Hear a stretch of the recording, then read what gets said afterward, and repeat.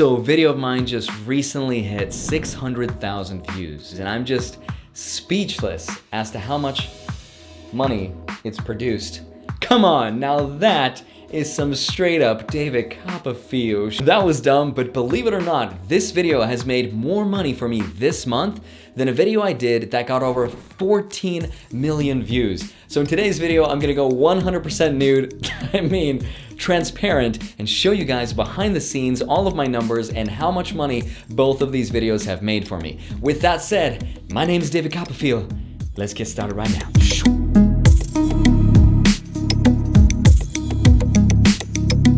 Hey guys, my name is Andrei Jikh and that rhymes with Rick, but today I do want to say that I'm not making this video to show off how much money I'm making. Instead, I want to show you my progress here on YouTube because it's not that long ago that I started, which was this January in 2019. And I watch these kind of videos almost once a week because it's like fuel for my soul. I get so inspired watching guys like Graham Stephan, Nate O'Brien, Jeremy from Financial Education, and I'm so in awe and just inspired by what they've been able to accomplish. My goal is to get you excited and passionate about investing, whether that's investing your time or your money, whatever gets you the best results on your efforts. And I wanna do that through the lens of transparency and openness, hopefully encouraging us to start a dialogue about things that are considered taboo, which is money. And hopefully by making all of these videos that are showing you how much money I'm making, how much money I'm spending, what I'm investing my money into, I'll show you guys this step-by-step -step guide, a visual process of my personal financial journey unfolding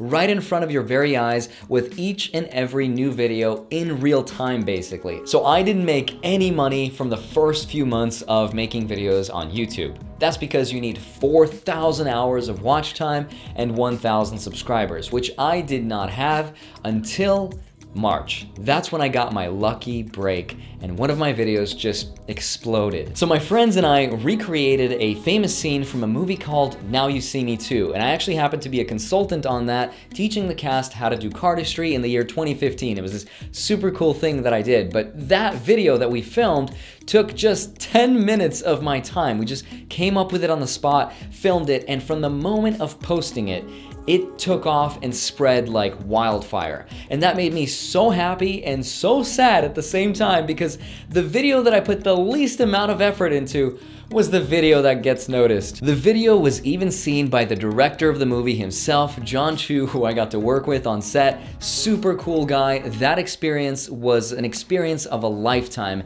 And my life peaked in 2015 and ever since it's just been slowly on the decline. But after posting that video several million views later, I thought to myself, wow, I'm a YouTuber, finally, this is it. Yes! I have heard of YouTubers who are making way more money, tens of thousands of dollars for way less views than this. So naturally, this video is gonna make me at least five grand. I mean, I can at least just count on that. Is gonna be so good. I don't know what I based that number on, but $5,000 was the number I was settled on. I was basically married to that number at that point. Needless to say, I did not make $5,000. In fact, in all of March, I made a whopping $90, which isn't even enough for YouTube to send you the check because it doesn't meet the $100 monthly minimum. So here is my real reaction at the time of discovering this fact. Caution, what you're about to see contains graphic images of someone dying on the inside. Let's roll the clip.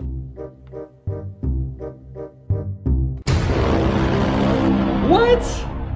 $90? like, wait, what? This has to be wrong. Okay, so it was later I discovered that in April was when I made all of that money from the video, and I made $1,951.89, which is, of course, of course, a lot of money. But maybe reality and expectation didn't really I don't know what this means, but they didn't see eye to eye. But just to show you, my CPM for that particular video, or my cost per thousand views, was $1.74, which is horrendously low. The video was just too short, it was only two and a half minutes long, which means no place to put ad breaks anywhere in the middle of the video, and ads is how YouTubers get paid. You might have seen an ad, but don't feel bad if you skipped the ad, I skip them all the time as well. I've got ad blocker on. Now, most of those views came from Indonesia, India, the Philippines, and Vietnam. no idea why that is. And the reason for such a low cost per thousand views is because YouTube cares a lot about where your audience is watching you. In fact, they will offer a lower CPM rate for countries that have lower incomes, which makes sense because advertisers want to target countries like the US, Canada, and Australia, countries with higher disposable income because these guys want you to buy the things they're advertising, which totally makes sense. And also the ads that are shown, I have absolutely no control over. So the worst thing that happens to me is I'll be talking to you about how I don't want you to buy some guru's course, and in the middle of me saying that, there's an ad or a banner that pops up and shows the guru's course.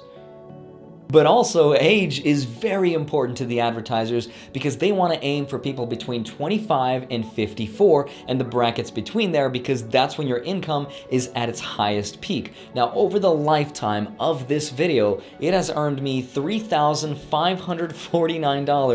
$3,549.97, which I'm so happy with that more than covered my trip to LA when I went out there to make the video. And guys, remember, at the beginning of this year, I set a goal for myself, and that was to make $1,000 for the entire year. And we crushed it, and I could not have done it without you. So, you, sincerely, from the bottom of my heart, thank you. Well, now let's compare that to this month's video, which at the time of recording has just over 691,000 views, which obviously is nowhere near the 14 million views from the other video, right?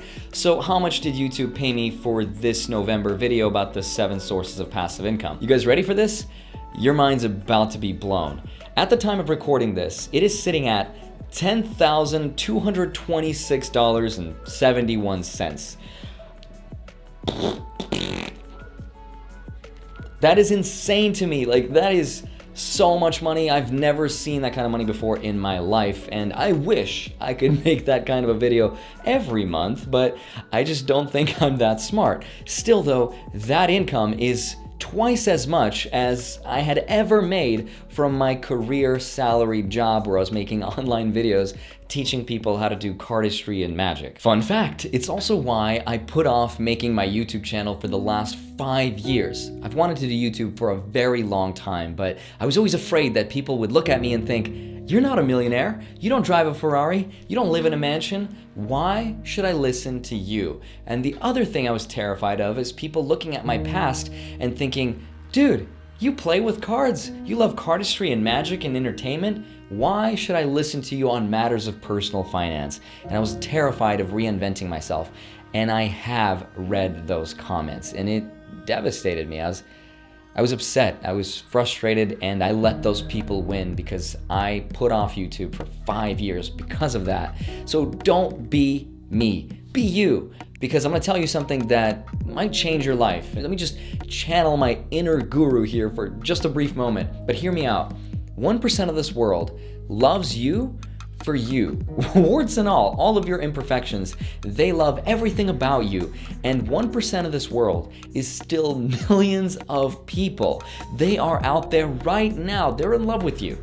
They just don't know it yet because they haven't met you yet. So when you think about the whole YouTube thing and about constantly putting yourself out there, that's just another way of saying, put yourself out there in front of that 1% that's out there. They will find you, you'll find them, and you'll find the crowd that loves you for who you are and you'll do what you love and you'll succeed. It's inevitable. Sorry for going off on this guru-like tangent, but back to the video. The video's CPM for that particular one, by the way, was $29.56, nearly 17 times higher than the Now You See Me video. Top country, United States with 38.8% of the audience, and the age bracket, 25 to 34, with 90% male and 10% female. Guys, we have to balance this out. Where's my females at? If we don't, I'm gonna have to start investing in Oscar Mayer Wiener soon, okay? And here's a mind-blowing metric for you. 58,000 hours of watch time. But just to put that in perspective for you, 58,000 hours of watch time would be like you sitting down to watch my videos nonstop which you should absolutely never do, for 24 hours a day, seven days a week, without stopping for six and a half years. That's insane. But because that video got so many views, several of my other videos started being recommended, so I made a little bit more money from that as well. But one thing I did not know when I first started YouTube was more than the views, more than the duration, what's the most important thing is the topic that you guys are talking about. Do you remember when all the rage was about just prank channels or when people were giving money to homeless people, leveraging homelessness and exploiting it because their channel would make way more money? Yeah, those guys make anywhere between 50 cents to $2 per thousand views. So those guys have to get a lot more views to make any kind of significant income. And for vloggers, which I kind of started out as because I didn't know how to format my videos, my titles were all over the place, I'd show people my day and at the end buy a stock, it was one giant hot mess. Those guys get paid anywhere between 2 to $8 CPM. If you're just starting YouTube, do not become a vlogger unless your lifestyle is like that of a Kardashian because you almost have to earn the right to be a vlogger because you need to have an audience that's already established and cares about who you are to watch your day. So for me, I'm not gonna be vlogging anytime soon until well, people care about me more and I have a larger subscriber base. Maybe when I get to a million subscribers, in the year never. For car channels, anywhere between 2 to $10, higher than vloggers, but gamers kind of all over the place, anywhere as low as 50 cents to as high as $8 or even higher. Now, I didn't know this when I started, but finance channels have some of the highest CPM rates in the industry with ranging from anywhere between $14 to $30 or even sometimes $40 and more. And I've had those kind of ad rates for just a brief period of time. The general rule of thumb here is that if you're making videos with real big companies and products and services where they have to compete for advertising space, you're gonna have a higher CPM rate, which totally makes sense. Now, during the last quarter or the last three months of the year, companies just take their budget and just all over. So for example, if this is budget right here, and this is me, this is a visualization of what happens in the last three months. They take their budget and they just